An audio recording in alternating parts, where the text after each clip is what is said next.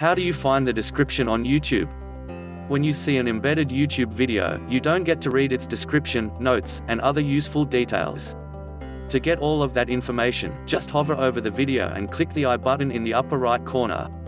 That's not the only trick for YouTube's embedded player. Thanks for watching. I hope you got the correct answer. To learn more about work from home jobs, please check the link in description below.